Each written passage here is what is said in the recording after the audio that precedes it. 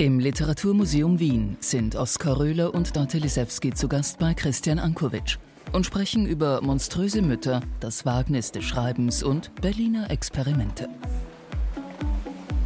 Herzlich willkommen zur Sommerausgabe der Lesart, meine Damen und Herren.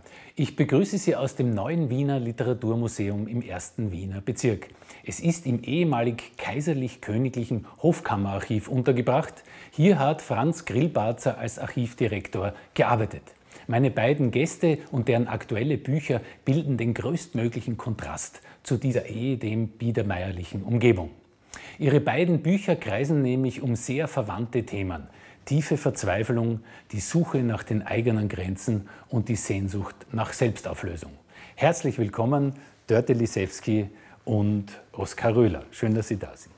Sie sind Schauspielerin, Sie sind im Wesentlichen Regisseur und Drehbuchautor. Das heißt, Schreiben ist jetzt nicht Ihr tägliches, äh, Ihr tägliches Tun. Ist Schreiben für Sie eher eine Möglichkeit unter anderen oder ist es etwas Existenzielleres? Es ist sicherlich existenziell, sonst wäre es gar nicht möglich. Äh, und das äh, sucht man sich ja nicht aus, sondern das geschieht ja. Mhm. Und ich glaube, das hängt aber auch zusammen. Also das ist eine, eine andere Form des Ausdrucks, aber ich empfinde es nicht als so fremd. Mhm. Herr Röhler, schreiben, filmen, welches Ihrer vielen, Sie machen viele schöne Sachen. Ja, also ich, ich bin wahrscheinlich auch, auch äh, wirklich einseitig belastet. Ich hatte immer das Problem, dass ich eine berühmte Mutter als Schriftstellerin hatte und solange meine Mutter lebte, war da immer so irgendwie so ein riesengroßer Schatten. Und ähm, ich habe mich dann eigentlich nie getraut, obwohl ich äh, immer schon wollte. Also ich habe eigentlich äh, immer schon schreiben wollen und der, der, das Filmen war ein, war ein Umweg auch. Musste der Schatten verschwinden Ihrer Mutter, definitiv physisch? Das war ein äh, Schlüsselerlebnis mit Sicherheit für mich. Äh, ähm, dass, mein, dass der Schatten meiner Mutter verschwand. Ich, ich äh, habe mich immer wahnsinnig gern von meinem Vater, der auch Schriftsteller war, beurteilen lassen. Er hatte die Rolle des liebenswerten Lehrers. Die, die, äh, meine Mutter hatte immer eher so die Rolle der äh, bösen Hexe im, im, Wizard von Oz irgendwo. Wenn die dann so über den Himmel geflogen kam, dann äh, äh, hat man überall äh, Stiche und, und schreckliche Dinge und hat sich ganz klein gefühlt und hat sich irgendwo, irgendwo versteckt. Es ist so schrecklich, dass man gegen solche offenbar magischen Sachen Sachen eigentlich überhaupt gar nichts unternehmen kann. Dass sie einem zwar auch, auch die Bewusstwerdung dessen hat, was mit Schreiben zu tun. Hat Sie jemand aufgehalten vor dem Schreiben? Weil Sie auch, also Sie haben ja auch nicht mit 20 begonnen oder haben Sie es bisher haben Sie es gemacht? Nein, mich hat überhaupt niemand abgehalten, wenn dann nur ich selber, weil das natürlich trotzdem fremdes Terrain ist, was mhm. ich da betrete. Und ich habe so viel Hochachtung vor guter Literatur, weil davon gibt es einfach sehr, sehr viel, dass das im Grunde genommen anmaßend ist überhaupt den Stift zu ergreifen. Und äh, es hat eh lange gebraucht, weil es hat auch sehr lange in der Schublade gelegen und es ist eigentlich einem Zufall zu verdanken, dass, dass das Licht der Welt erblickt hat. Ich finde es auch, um das nochmal zu sagen, ich glaube, es ist wirklich äh, einerseits ein echten Wagnis, sich da rauszuwagen mit, mit eigenen Gedanken, eben weil, weil, weil dadurch, dass es eben doch viele gute Literatur gibt, Leute sehr, sehr anspruchsvoll sind, bilde ich mir immer ein, ich habe dann allerdings auch das Gegenteil erfahren und habe gedacht, oh Gott, die sind ja gar nicht so anspruchsvoll, Gott sei Dank. Aber ich, ähm, ich, ich glaube, ich, hab, ich bin ein Leser, also ich habe immer, ich habe viel Zeit in meinem Leben immer wieder gehabt und habe die eigentlich immer damit genutzt, tonnenweise Bü Bücher zu verschlingen.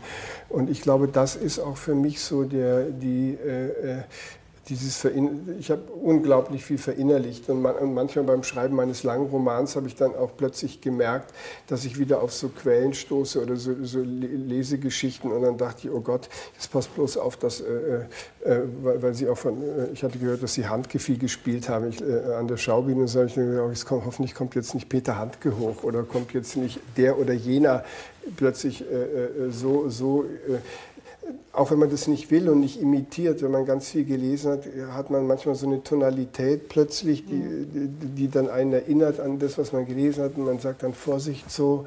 Andererseits ist es natürlich der Nährboden, aus dem man schöpft, weil man ja natürlich diese ganze Variationsbreite irgendwann mal äh, äh inhaliert und gelesen hat. Mhm. Und, und dann irgendwo auch, wenn sich das zusammensetzt, auf all das auch zurückgreifen kann. Wie, wie naja, die Gefahr, Gefahr des Imitats ist groß, wenn man diesen ganzen Rucksack hat und diese ganzen Einflüsse hat oder diese Klänge hat, die Sounds hat oder Strukturen, Erzählweisen, die einem gefallen äh, das ist wirklich dann äh, die große Kraft, dem zu widerstehen, dass man jetzt nicht so wie schreibt oder so, sondern sagt, nein, äh, den eigenen Sound finden, den eigenen Stil Wenn finden. Wenn Sie auf der Bühne stehen, reproduzieren Sie in einem gewissen Maß den Text fremder Autorinnen und Autoren. Ist es eine Reproduktion dessen, was Sie vorfinden, oder wie weit geht eine eigene Autorenschaft in der Aneignung? Also Reproduktion würde ich das nie nennen, sondern das ist, äh, durchläuft ja verschiedene Stadien. Also das ist ja eine, eine Beschäftigung, dann im besten Fall eine Durchdringung, erst allein, dann mit dem Regisseur, äh, bis es hin, also im besten Falle äh, zur Autorenschaft kommt, nämlich dass es so wirkt, als ob mhm. ich es erfunden hätte, in dem Augenblick, wo ich es sage, dass die Worte mir gehören, aus meinem Herzen, aus meinem Kopf, aus meiner Seele oder Unterleib oder was auch immer kommen. Es ist eine Frage der Geschmeidigkeit, wie weit das gelingt, weil es gibt ja auch sperrige Texte, die dann so manchmal so Steinbrucharbeit sind, so einer schläft oder so etwas. Aber ähm, es muss einem selber gehören. Ansonsten wirkt es immer artifiziell oder aufgesagt oder halt nur eitel. Und das interessiert mich nicht. Mhm.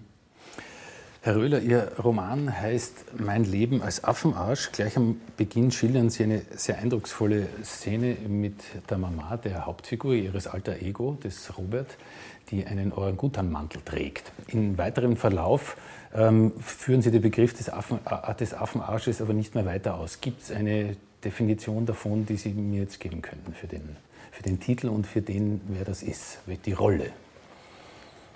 Der, der, der Titel drückt im Grunde vielleicht im besten Fall, wenn, wenn das jemand bemerkt, äh, was wie eine Art Selbstironie vielleicht in, trägt er in sich, hoffentlich. Mhm.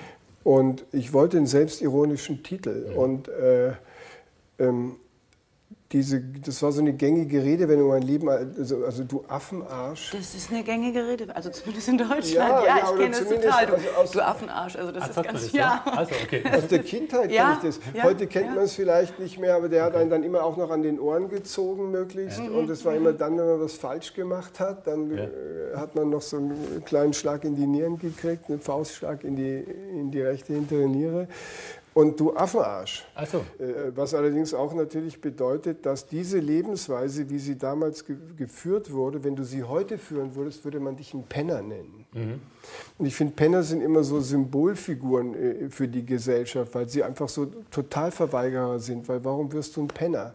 Mhm. Weil, du, weil du lauter Sachen auf dich nimmst und auf dich ziehst, die andere Leute von sich abstoßen, mhm. indem sie ganz viel arbeiten, sich anpassen, zur Gesellschaft gehören wollen, zum Establishment gehören wollen und so weiter und so weiter und so weiter. Und äh, diese Totalverweigerungshaltung, die, die, die, die, von der man sich dann irgendwann notgedrungen trennen musste, schweren Herzens oder wie auch immer, die, die, die steckt sehr in dem Buch drin. Das hat, das, die, die ist eigentlich so, der, äh, äh das ist so die Apotheose der Selbstver Steigerung. Das ist jetzt der österreichischen Unkenntnis äh, äh geschuldet. Ich habe versucht, eine Linie von dem Affenarsch von Herrn Röhner zu Ihnen, zu Ihrer Erzählung gefunden, habe hab sie gefunden, hoffentlich. Es gibt eine kleine Stelle, wo es in Ihrer Erzählung Hera, Sie schreiben, gestern hast du dir ein rosa T-Shirt mit einem Affengesicht darauf gekauft. Du glaubst, du drehst durch.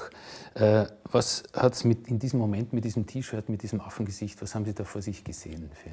Ui, da müsste ich jetzt ausholen. Äh, das ist sozusagen aus dem Zusammenhang zu betrachten. Das okay. ist ja in der Erzählung Hera, ja, mhm. diese Frau, die auf diese Insel der Fruchtbarkeit da kommt, wo Hera zu Hause war und eben äh, äh keine äh, Kinder kriegt und sozusagen alle möglichen Stationen dadurch läuft. Mhm. Und äh, wenn man weiß, dass das sozusagen äh, ein Auslaufmodell ist bei ihr, weil der Freund sie verlassen hat oder wie auch immer man das lesen möchte, ähm, dann ist es natürlich fragwürdig, wenn sich eine Frau in dem Alter sozusagen dann ein, ein T-Shirt mit einem Affen draufkommt.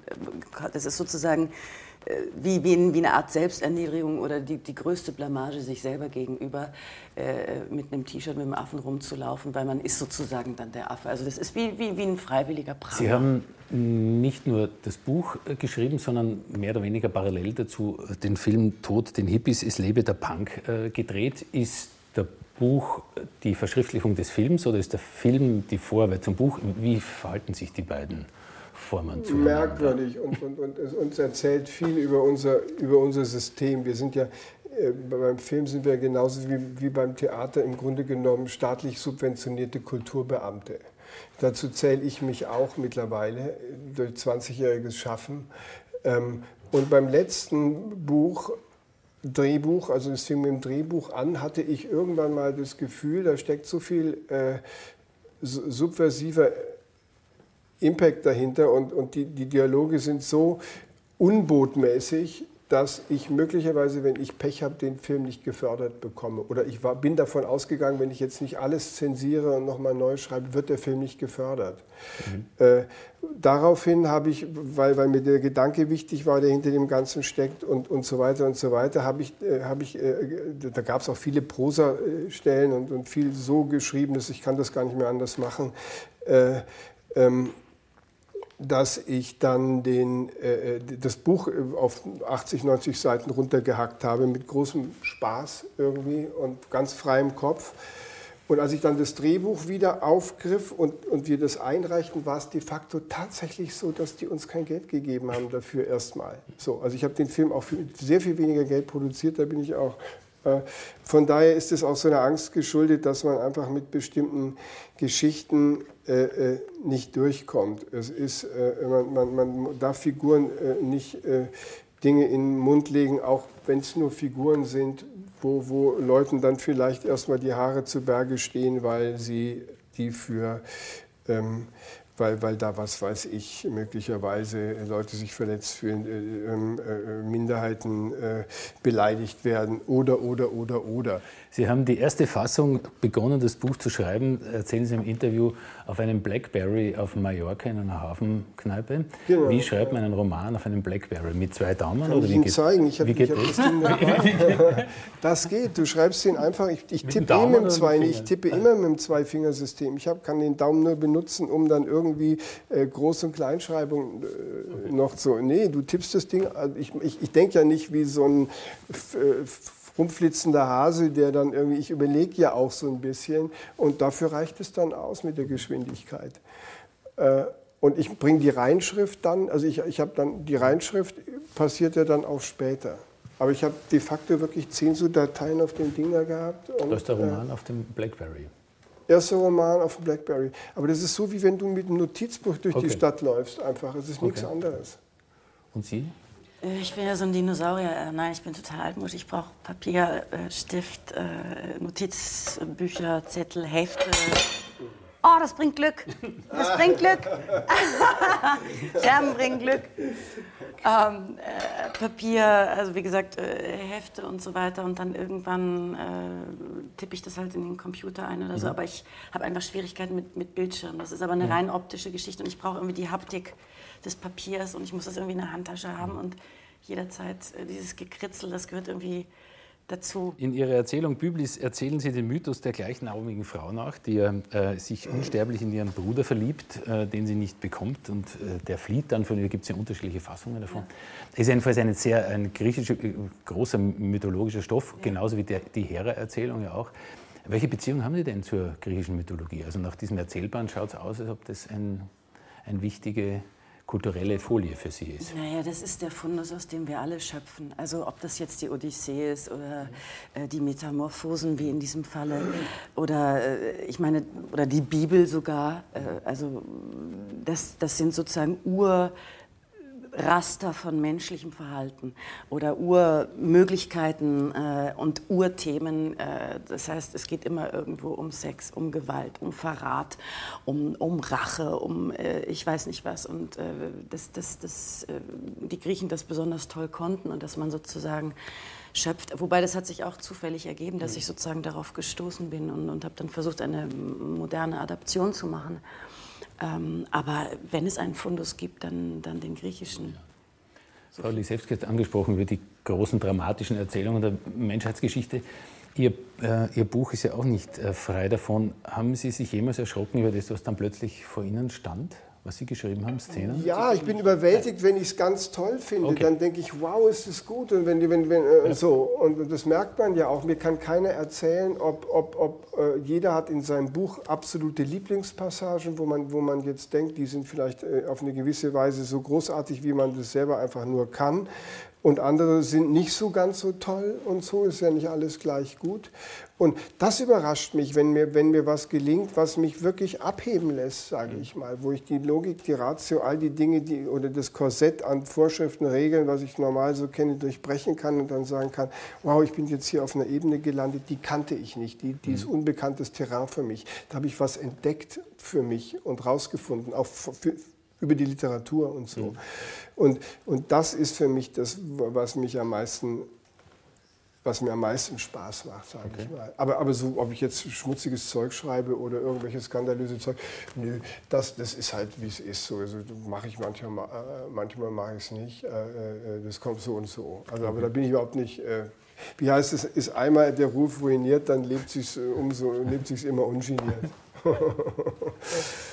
Kennen Sie das plötzlich, was vor Ihnen steht, wo Sie gedacht haben, das ist von mir? Ja, also das ist sehr, ein sehr, sehr, sehr seltsamer Zustand. Das ist ja zwischen bewusst und unbewusst. Also in dem mhm. Augenblick, wo es niedergeschrieben ist, da möchte ich gar nicht zu sehr drüber nachdenken, weil mhm. das eine gewisse Spontanität und eine gewisse Unschuld hat im, im, im Zugriff oder in einer möglichen Erkenntnis. Äh, beim wieder draufschauen kommt dann sozusagen die, die Zensur oder die, die, die, der genauere Blick oder so.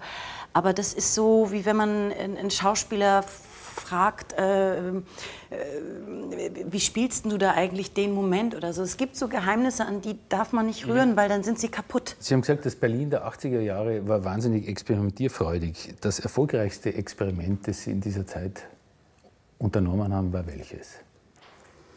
War, mich äh, in tiefste Depression zu stürzen aufgrund von Untätigkeit und Drogen. In einen völligen sinnentleerten Raum zu, zu, äh, ähm, zu katapultieren, in so eine völlige Ausweglosigkeit. Das, das, war, das war mein Experiment und das hörte eigentlich auf Mitte, Ende der 80er Jahre erst. Äh, aber wie gesagt, ich war auch unter so einem Bann, das beschreibe ich ja in dem Buch mhm. auch. Und, und, und äh, ich war äh, lange Jahre quasi Opfer einer nicht stattgefundenen Erziehung des Herzens, der, äh, der, der Bildung, der, der, der bürgerlichen äh, vielleicht auch Bildung. Ähm, das, äh, also man hat mir keine Regeln an die Hand gegeben, wie ich äh, äh, mit einem äh, selbstständigen Leben umgehen soll. Mhm. Also von daher war jedes Experiment ein Experiment in dieser Zone und konnte eigentlich nichts anderes werden als das, was es war. Herr Röhler schildert sehr intensiv in seinem Roman dieses, diese Berlin-Folie und dieses, diese Laboratorium. Sie haben sehr lange in Berlin gelebt, 20 Jahre. Welche Form der Kultur, was ist bei Ihnen noch angekommen von dieser Traditionslinie und was war ganz neu? Weil Sie sind in den 89ern die Ja, 88, 89 ja. bin ich nach Berlin. Naja, das Berlin war einfach nicht Deutschland. Mhm. Berlin war, äh, durch, äh, es war wie so ein Melting Pot, da ging man hin, um dort etwas zu erleben oder zu sehen, natürlich gerade kulturell, was es sonst in Westdeutschland nicht gab. Die Leute waren anders, die ganze Szene war anders. Ähm, dann war ziemlich rasch die Wende, also für mich, weil ich ja erst so kurz da war. Und was ich an Berlin mochte, war vor allen Dingen die lebendige Geschichte, die man gesehen hat. Mhm. A, durch die rein geografische Situation, durch die geteilte Stadt, durch die Zikatrisierung der Häuser. Das war alles sozusagen mit Einschusslöchern voll und so weiter. Also Geschichte war nicht eine Chiffre, das war nicht irgendwie irgendein Zitat oder so, sondern es war einfach zu sehen. Es neigt sich jetzt langsam dem Ende zu unserem Gespräch. Deswegen am, am Schluss diese, ein, ein, kleiner Versuch. Ich sage Ihnen jemals zwei Begriffe und Sie suchen sich bitte einen davon aus und begründen sie. Ich frage auch nicht nach, warum oder weswegen. Sonnenauf- oder Sonnenuntergang? Aufgang. Untergang. Kochen oder kochen lassen? Kochen lassen. Kochen. Sie in zehn Jahren, schauerliche Vision oder schon okay so? Schauen wir mal. Hm. Ich plag mich mit der schauerlichen Vision rum, aber. Schauen wir mal. Schauen wir mal. Bleiben oder gehen? Oh, Sie stellen aber auch Fragen. Die ist nicht schlecht, oder? Oh Mann. Sie ist auch die letzte. Blähen. Gehen.